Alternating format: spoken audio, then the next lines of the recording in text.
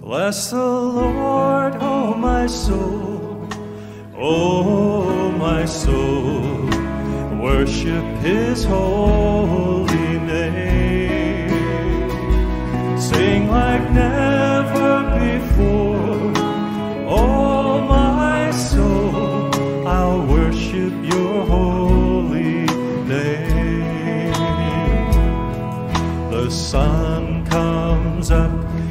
it's a new day dawning. It's time to sing your song again. Whatever may pass and whatever lies before me. Let me be singing when the evening comes. Bless the Lord,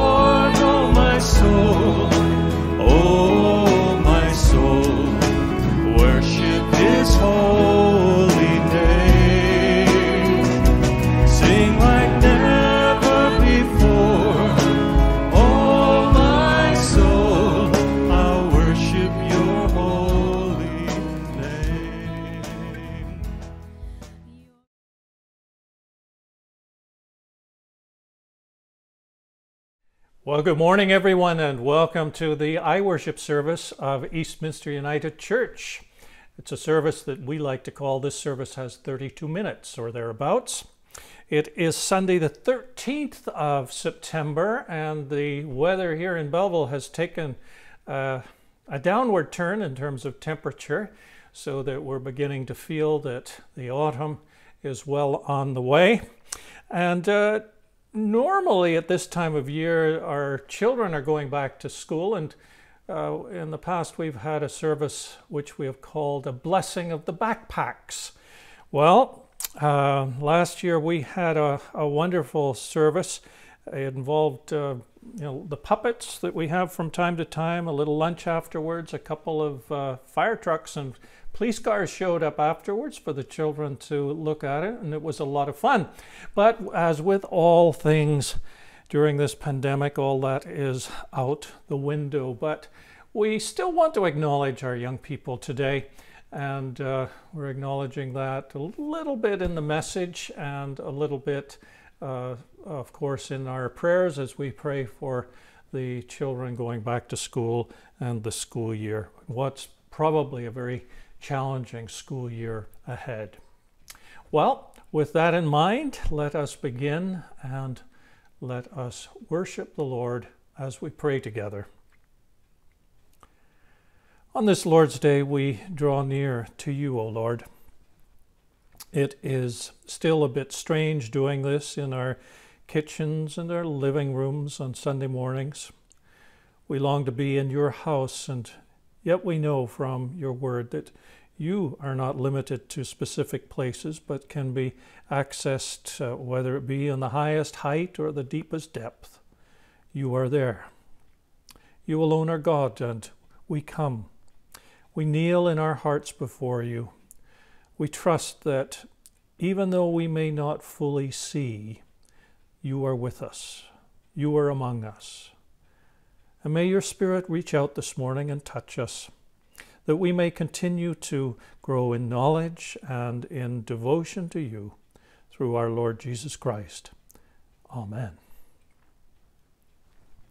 Well, we're going to hear from our music team today. Uh, I think it's George and uh, Jean and Bruce again, and they will be singing He's Got the Whole World in His Hands.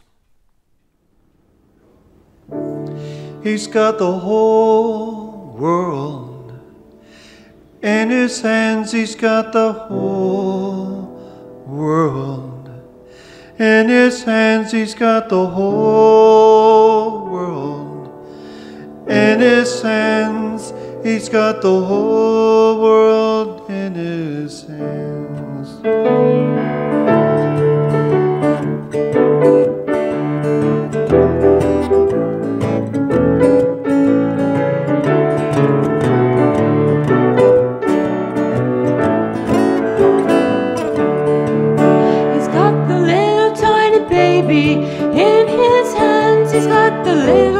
tiny baby. In his hands, he's got the little tiny baby. In his hands, he's got the whole world in his hands. He's got you and me, brother. In his hands, he's got you and me, brother. In his hands, he's got you and me, brother. In his hands, he's got the whole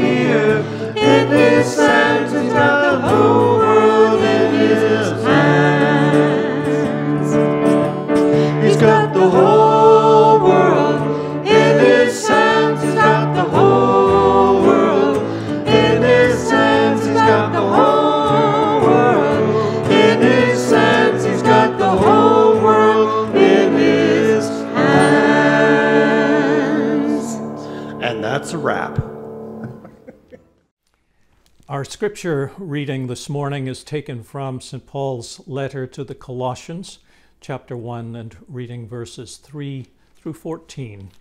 Paul has just introduced himself to the Christians at Colossus, and he says, In our prayers for you, we always thank God, the Father of our Lord Jesus Christ. For we have heard of your faith in Christ Jesus, and of the love that you have for all the saints because of the hope laid up for you in heaven. You have heard of this hope before in the word of truth, the gospel that has come to you. Just as it is bearing fruit and growing in the whole world, so it has been bearing fruit among yourselves from the day you heard it and truly comprehended the grace of God. This you learned from Epaphras, our beloved fellow servant. He is a faithful minister of Christ on your behalf, and he has made known to us your love in the Spirit. For this reason, since the day we heard it, we have not ceased praying for you and asking that you may be filled with the knowledge of God's will in all spiritual wisdom and understanding, so that you may lead lives worthy of the Lord, fully pleasing to Him, as you bear fruit in every good work and as you grow in the knowledge of God. May you be made strong with all the strength that comes from His glorious power, and may you be prepared to endure everything with patience while joyfully giving thanks to the Father who has enabled you to share in the inheritance of the saints in the light. He has rescued us from the power of darkness and transferred us into the kingdom of His beloved Son in whom we have redemption, the forgiveness of sins.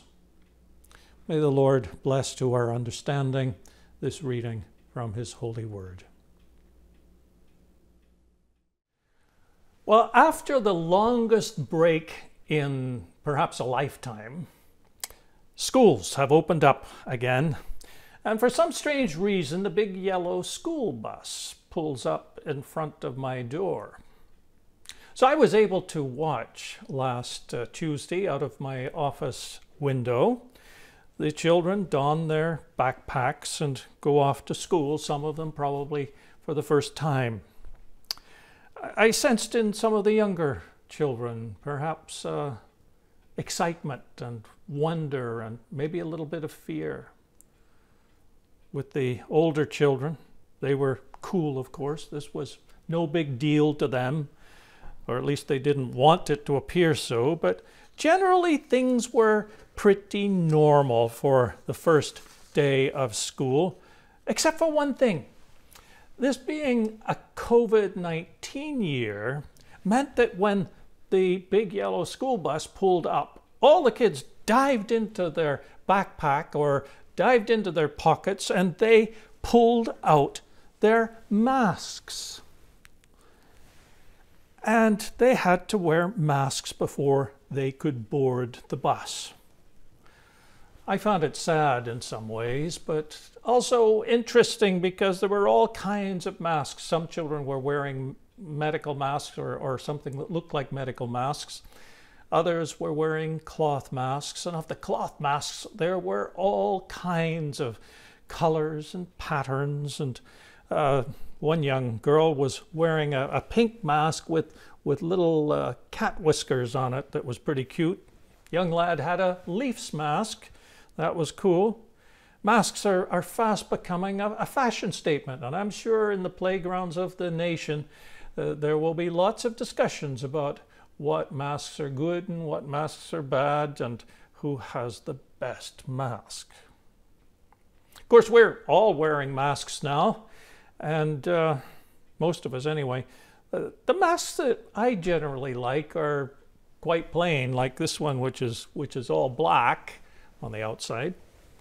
Um, sometimes I like ones that have a little logo or crest uh, on them. I, have seen the Prime Minister wear a black one with a little red maple leaf on it, and that's pretty cool. Um, I'm not much taken with those big masks that have, you know, covered in stuff like the big American flag or the big letters MAGA or something like that. I prefer the more, the smaller little uh, icons or symbols. I, I saw a nice Raptors mask the other day, and, uh, and there was even a nice Montreal Canadiens uh, mask. Although why anyone would want to wear one of those, uh, Bruce Goodman, are you listening? Uh, I don't know. One of my favorite masks, um, sorry, Bruce, one of my favorite masks uh, is, uh, I saw this online. It was a black mask with the crest of Manchester United on one side of it. And uh, that was a very good mask because, of course, they're the best. Um, but in all seriousness, the mask that I liked most that I've seen has been uh, a mask with just two elongated arcs on it in the shape of a small fish. And you may well ask, why do you like a plain mask with a little fish on it? And uh, I would have to tell you that that fish, that very simple line drawing, two elongated arcs, is an ancient, an ancient Christian symbol. And when it started, it was a secret, a secret symbol, because back in the second century, from time to time, and in certain places within the Roman Empire, the Christians would be persecuted. If something went wrong in a region, the authorities had to find someone to blame, as they do now, and frequently it would be the Christians they would pick, pick on. Furthermore, Christians were not ones to bow down to images of the Caesar, the emperor, and worship him. And uh, for that, they were persecuted, they were thrown into prison, they were treated horribly and sometimes even died as a result of their treatment. So, in some places, Christians would keep their faith secret and uh, they wouldn't talk to others or they'd be cautious about whom they told that they followed Jesus. Now, tradition has it that when there was a meeting of Christians, like a worship time, the word would go out on social media or whatever they had in those days, and they would be told to meet in a certain place and a uh, certain region, but it wouldn't be very specific, and so they might meet in an area in a forest, and someone would scratch in the ground or on a tree these two elongated arcs in the shape of a fish, and the people would know they were going the right into the right place for the meeting. Or on a house, there would be the arc scratched into a wall or a gate to let people know that that was a Christian household. And it's even said that when uh, someone was out uh, going uh, to uh, the next town or something and maybe encountered a stranger on the way, um, they would chat for a while, but nonchalantly someone might just draw one of those arcs on on the ground with a stick and if the other person drew the other arc to make it into the symbol of a fish, they knew that it was safe to talk to that person about Christian things. So the fish was a symbol, and it was a secret symbol among Christians. But why a fish? Why a fish? Well, the language that was spoken in that region at the time was called Greek, and a particular variation of Greek called koine. And the Greek word for fish was ichthus. Now, that probably means nothing to you, but the Christians in that time recognized that this word ichthus could be used as an acronym. And so they got thinking about it and they found that, well, the first letter is an iota. And, uh, the first letter of Jesus' name, Jesus, is an iota. And the second letter is a chi. Well, first letter of, of Jesus, uh, the, his being the Messiah, uh, is uh, a chi, Christos. And then the third letter, it was a theta. And they thought about it, and yes, the first letter of the word for God, theos or theou in this case, of God, uh, that was used. Then uh, the fourth letter was an upsilon. Well, the first letter of what Jesus is, the Son, huios. That'll work. And then there's the last letter, a sigma. And the sigma is actually the first letter of the Greek word uh, for um, Savior. And uh, so the Christians found this, that this word ichthus, if you used as an acronym, it could be Jesus Christos, Theo Huios Soter. In our language, Jesus Christ, Son of God, Savior. And so, this little symbol of the fish and the letters of this, the word for fish, ichthus, were very precious to the Christians. And they kept it as a secret. They kept it as a secret symbol that indicated that the person who uh, wore that symbol or the house that, that uh, bore that symbol or the place that bore that symbol, that was a Christian place, a Christian house. The person was a Christian. And it said so much in the acronym about about who Jesus was. It says he's the Messiah, the Christos. It says he's the Son of God, Theo, Huios. It says he's the Savior, Soter. Just sounds very much like something, for instance, John said, For God so loved the world that he gave his only begotten Son, that whosoever believes in him may not perish, but have eternal life. The fish. What a nice symbol. Wonderful symbol. And it's a symbol that can link us with the past. It's a symbol that can link us with early Christians. It reminds us of who Jesus is, the Messiah, Son of God, Savior. And uh, there are lots of Christian symbols these days. Lots and lots of them. I think the cross is probably the most prevalent symbol that we have out there. But uh, the cross has kind of become mm, a common item, just common in jewelry. And people wear cross earrings and cross necklaces and a little cross in their uh, lapel or something. And it often doesn't mean much. It doesn't say much about a person's faith. But the, these arcs, elongated arcs that make a fish, they're less well known. They are known as something Christian, but less well known. The meaning behind them is hardly known at all. It, it's, it's still almost a secret in terms of what it means. And so I wonder if we could adopt this symbol again, at least adopt it more readily in the church, and perhaps put it on our masks or on other things. But you know, there's a word of caution if we're going to adopt this symbol because it's something that we need to live up to. When the Apostle Paul prayed for the faithful Christians in Colossus, one of the prayers that he uh, uttered in the first few verses is that they would lead lives worthy of the Lord.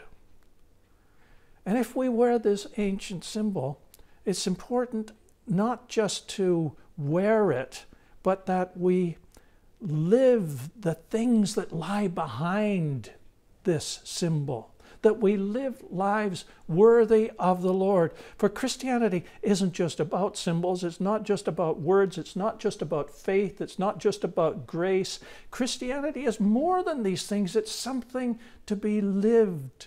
It's a response to God's grace. It's a way of life. It's a turning away from old things to what is new in Jesus Christ. You know, we may be the closest thing to Jesus that someone sees. And so, if we're going to wear a Christian symbol, like the little fish, we need to live it. We need to embody the words of the prophet Micah, for instance, that we do justice and love kindness and walk humbly before our Lord. We need to do the things that Paul calls us to, to live in the fruit of the Spirit love, joy, peace, kindness, goodness, faithfulness, gentleness, and self control. And I forgot patience in there. If we're going to put these two elongated arcs in on, on our masks, bumper sticker on our car, on our business card or whatever. It gives us responsibility. Because it links us with the past. It links us with those early Christians, the early Christians who suffered greatly for their beliefs. It links us with a serious faith in Christ. It links us with some specific beliefs about Jesus. Most people don't know these things, but they do loosely associate this image of the fish with Christianity. And so it makes us an advertisement for Jesus. And that can be a challenge. But it's also a calling. Lead lives worthy of the Lord. Let us pray. Gracious God, we come together today in different places, different times probably, and we've come together in one love one desire to know more of you. We come seeking the one who is holy, the one who is gracious, the one who is love. We come seeking the presence of one who is immortal and invisible, and whose complexities we can barely comprehend. We come to you with a sense of wonder and awe. We come humbly because we're not worthy to eat the crumbs from your table, and yet again and again you've shown yourself to love even the little things of this world, and you've shown yourself to love us. Today we're thinking about signs and symbols and the ancient symbol of the fish that was so meaningful to early Christians. Meaningful because its letters pointed to Jesus, meaningful because it helped them in days of persecution. Today, we're still thankful for all that Jesus gave us. We're thankful for all that He revealed, all that He taught, and for the salvation that's ours in Him. Jesus' work challenges us. It challenges us in mind and spirit and body. And it's not always easy, but He has asked that we follow Him.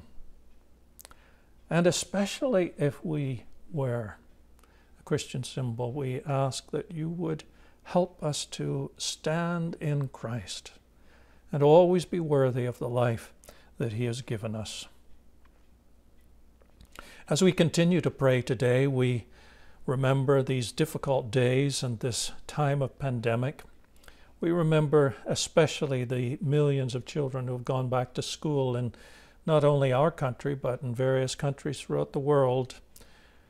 And we pray that you would be with them. We're thankful that for most children, this virus seems to barely affect them, but we're also mindful that they can uh, bring it back to their homes and their families, and particularly to the seniors who are part of their family who are most affected by the virus. And so grant us, O oh God, grace during these days. Protect our children, protect our families, protect our teachers and those who work on the front lines. And we pray that this virus would be soon eradicated from our midst, whether that is through just isolating it or through a vaccine. We pray that you would uh, continue to work through our scientists and give them guidance as they try to come up with a vaccine. Lord, we pray for relief and uh, help to get life back to the way it should be. As we come together, we always come with things on our own minds and on our, in our own hearts, and we take just a moment to pray in the quietness of this time.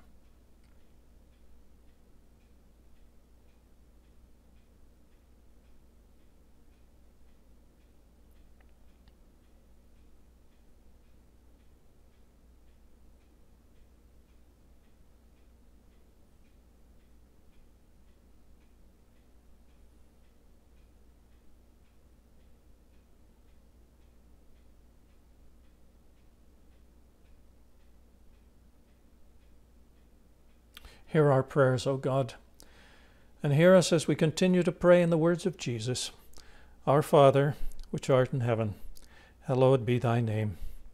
Thy kingdom come, thy will be done on earth as it is in heaven. Give us this day our daily bread, and forgive us our trespasses as we forgive those who trespass against us. Lead us not into temptation, but deliver us from evil.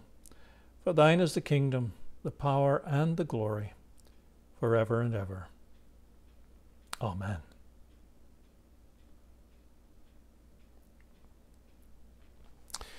Well, I'm going to leave you again with some words of benediction, and that will be followed by our music team as they come back and sing a song entitled God Will Take Care of You.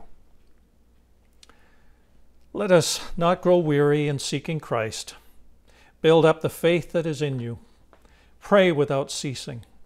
Live out the love of God in the world, and look forward to the mercies of God that lead to eternal life. In the name of the Father, and of the Son, and of the Holy Spirit.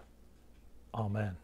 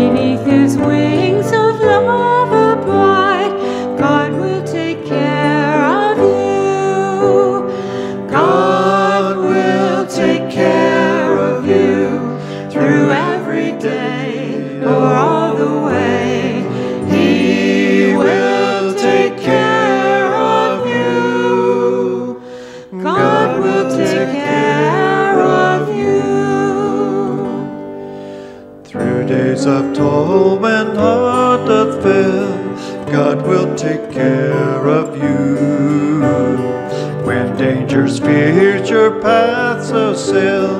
God will take care of you. God will take care.